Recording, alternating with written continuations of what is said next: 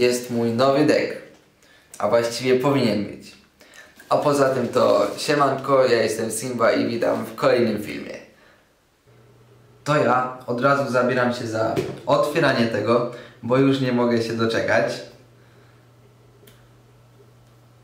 I przy okazji opowiem Wam historię, dlaczego w ogóle mam nowy deck, co to jest i czemu, czemu właśnie to, co jest tam w środku.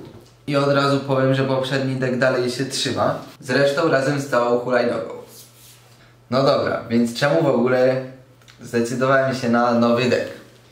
Po pierwsze, już tak w listopadzie chyba zacząłem się zastanawiać nad y, krótszym deckiem, bo mój deck wydaje mi się, że jest dość długi, jak na parkowy. Przynajmniej jak biorę od ludzi, często mają krótsze, to kiklesy wychodzą dużo łatwiej. I głównie dlatego chciałem kupić wtedy nowy deck. I w tym czasie miał wyjść deck Bartka Oskrowy. On na swoim vlogu powiedział, że jego deck będzie miał 20 cali długości. Przy czym ja w swojej hulajnodze mam 20,5, a chciałem krótszy, więc to by pasowało. Przy okazji miał szerszy, powiedział, że jest ultra lekki, więc pomyślałem sobie, że kupię deck Bartka Oskrowy, bo lubię Bartka Oskrowy jako najlepszego ridera w Polsce i ogólnie jest spoko. Pomimo tego, że deck jest czarny i wolałbym kolorowy, to bym go kupił, ale w każdej specyfikacji jest napisane, że ma on 20,5 cali, czyli dokładnie tyle ile mój deck, więc nie, nie miałoby sensu kupować tego.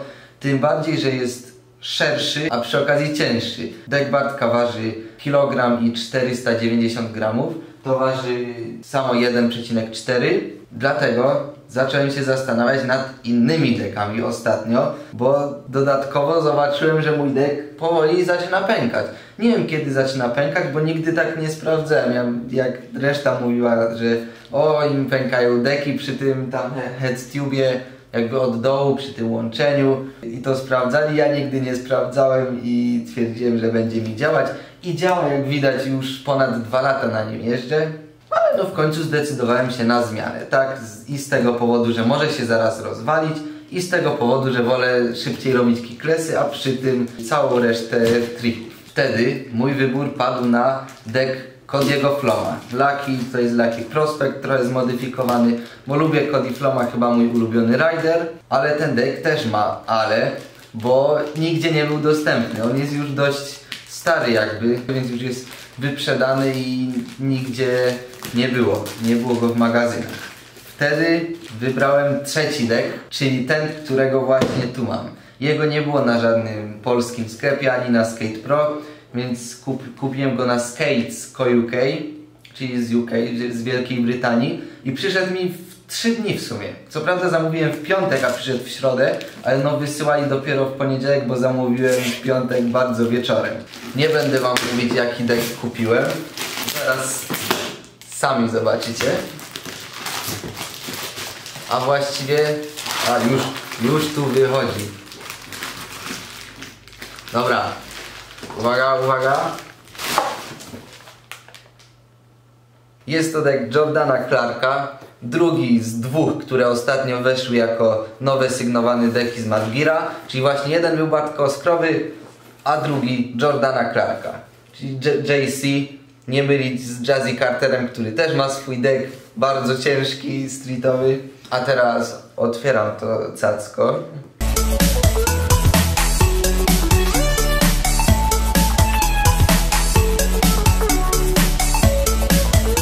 Jest już otworzone, więc...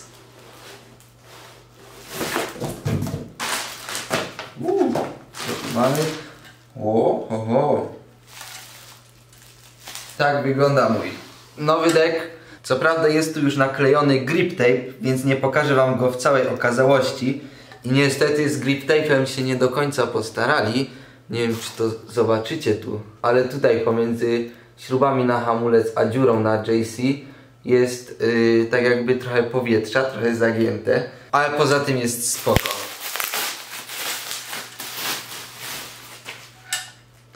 Co za piękność. Jest mały? No nawet jest mały. Przy okazji, tu jest oczywiście ośka, więc będę w końcu mógł jeździć bez pega, ponieważ w tej hulajnodze jeździłem z Pegiem, bo zepsuło mi się wejście na imbusa w ośce. Miałem ośkę właśnie z Pegów, ale znalazłem tylko tylnego, a w tylnym ośka jest taka, żeby była z Pegiem. I bez Pega nie, nie da się dokręcić, cisnąć tego mocno. Więc musiałem jeździć z takim jednym Pegiem wystającym. Teraz będzie bez, więc możecie sobie zobaczyć ten przepiękny dek. Moją nową część do hulajnogi. Chyba jedyną jaką kupiłem tak po prostu. Nie, że reszta mi się zepsuła, tylko pierwsza część, którą kupiłem po prostu, bo chciałem i chciałem tą, tylko tą. Może Was też interesuje cena. To z przełożenia na te funty brytyjskie to było 590, ale jak, jak zapłaciłem, to zapłaciłem 624. Przesyłka przy okazji była darmowa, więc spoko. No i mam dek, więc zaraz będę się zabierać. No to przynajmniej nie muszę grip tape tutaj. A, już wiem. Bo do Jordana Clarka nie ma dołączonego grip tape'u, z tego co mi się wydaje. Tylko Bartek Oskroła ma, bo ma ze swoją grafiką taką jeszcze specjalną. Y, więc to nakleili w tym Skates Co UK, bo mieli dołożyć grip tape do tak za darmo do zamówienia, bo taki, taki mają, że do deków dokładają chyba grip tape po prostu. Czyli właśnie chyba sami go nakleili, bo w środku nie widzę, żeby był jakiś grip tape, ale za to w dodatku do zamówienia dostałem a, mam worek ze Skates Co UK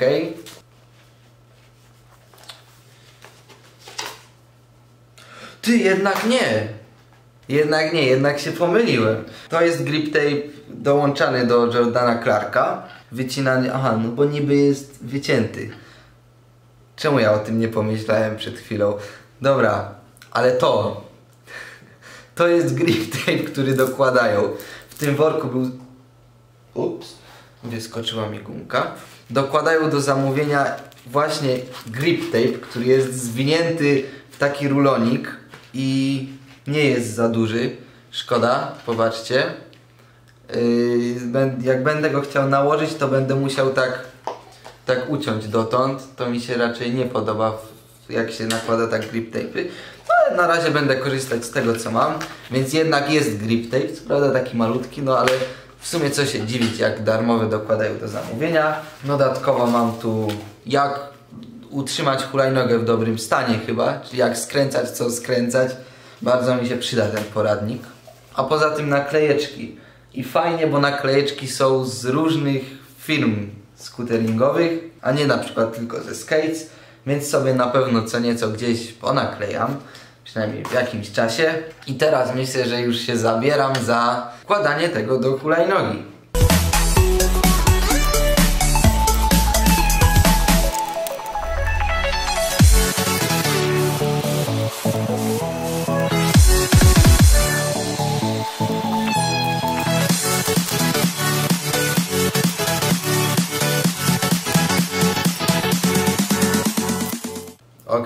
Udało mi się złożyć hulajnogę, skręcić wszystko.